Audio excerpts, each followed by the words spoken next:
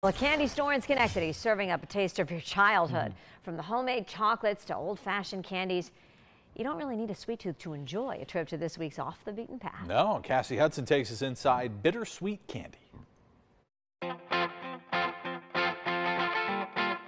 Located on Jay Street in Schenectady, you'll find a fun and funky neighborhood store.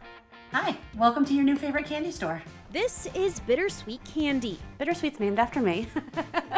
As Heather Lent will tell you, her business doesn't fit the mold of a traditional candy store.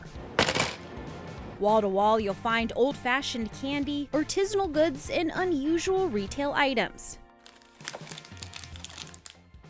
I go out of the way to have like fun, funny molds. Like I do chicken and waffles, martini glasses, and slices of pizza and stuff like that. So I try to keep it fun and different. It all started almost two decades ago. Heather's first storefront was in Poughkeepsie before she eventually moved the business to Schenectady to be closer to her family. From salty pretzel to cherry pistachio, her homemade chocolate bark has been a cornerstone of the business from the very beginning.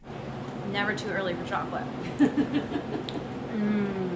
whether you come in for chocolate and you just love homemade chocolate or you see Necco wafers and that's what is your candy as a kid, everybody just comes in and they're immediately excited and happy. So, I mean, how can you have a bad day when that's your job? Reporting off the beaten path, I'm Cassie Hudson, News 10 ABC. It all looks good. Oh, it sure does. And it's true, you're always happy when you go into the candy store, mm -hmm. even if you're having a bad day.